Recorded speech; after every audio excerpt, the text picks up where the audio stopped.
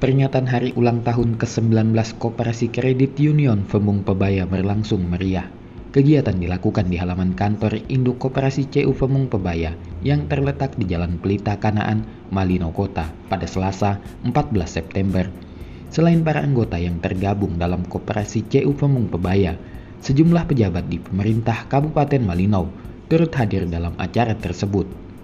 Acara pun berlangsung secara tertib dan menaati protokol kesehatan Diketahui Koperasi CU Pemung Pebaya menjadi salah satu instansi yang membantu masyarakat Malinau melewati masa sulit saat pandemi COVID-19. Berbagai program dilakukan guna membantu warga serta mendukung pemerintah. Manajer Koperasi CU Pemung Pebaya, Carolus Jerloli Kelden menjelaskan, pada masa pandemi, semua sektor ikut terdampak, tak terkecuali CU Pemung Pebaya yang sempat mengalami masa krisis. Oleh karena itu, pihaknya memberikan keringanan kepada para anggota untuk menepati janjinya yang melakukan program kredit ke Koperasi CU Pemung Pebaya, seperti keringanan angsuran 50% per bulannya. Teknis program keringanan pun dilakukan secara fleksibel, namun ada juga program penyesuaian anggota yang memberikan angsuran per bulan semampunya.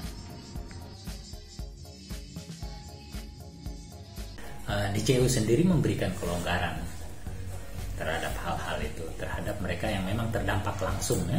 Uh, usaha mereka terdampak langsung. Ada yang kita uh, jadwal ulang ada yang ya mencicil dengan kemampuan yang bisa dia cicil saat ini begitu karena kita fleksibel betul. Kita uh, di CU itu betul-betul fleksibel uh, di situasi ini. Kalau mereka hanya bisa menyetor 50% dari kesepakatan sebelumnya maka tidak akan terima. Atau yang betul-betul uh, terdampak sekali dan usahanya itu memang lumpuh itu maka kita lakukan penjadwalan. Sementara itu, Ketua Pengurus Koperasi CU Femung Pebaya Malinau, Henry Vanyeran mengatakan, meski banyak kendala yang dihadapi, namun pada usia ke-19 tahun ini, CU Femung Pebaya optimis semakin tangguh dan tumbuh bersama masyarakat Malinau. Ia menambahkan, Koperasi CU Femung Pebaya merupakan koperasi yang memiliki badan hukum jelas, sehingga program pelaksanaan kegiatan dan aktivitas koperasi dilindungi oleh Undang-Undang Nomor 25 Tahun 1992 sehingga dirinya berharap kepada masyarakat agar koperasi CU Femung Pebaya layak untuk dijadikan koperasi terpercaya bagi masyarakat Malinau. Indonesia dan semoga di ulang tahun yang ke-19 tahun ini eh, koperasi CU Femung Pebaya ini terus menjadi koperasi yang dipercayai dan menjadi koperasi yang uh, menjadi uh, lokomotif bagi perubahan atau transformasi sosial ekonomi masyarakat khususnya anggota di mana CU Koperasi Kredit Union Pemupaya ini berada. Demikian. Sejumlah pejabat di Pemkap Malinau pun meyakini bahwa koperasi CU Femung Pebaya dapat membantu pemerintah dalam mewujudkan masyarakat yang sejahtera.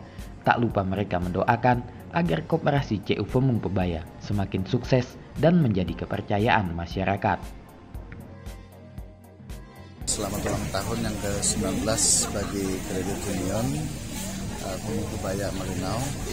Ya kami harapkan ke depan uh, CU Femung Pebaya ini semakin mengambil peran di perekonomian Malinau dan memberi dampak yang positif bagi perkembangan uh, ekonomi Malinau dan ke depannya supaya semakin maju, semakin ya, kan selamat untuk bisa mengambil.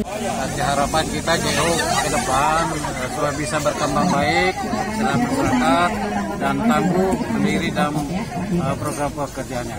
Dengan adanya pelayanan kita melalui tim Kebaya, khususnya di Kabupaten Malinau, kita berharap adanya peningkatan dan pertumbuhan ekonomi masyarakat Hadi Aris Iskandar melaporkan.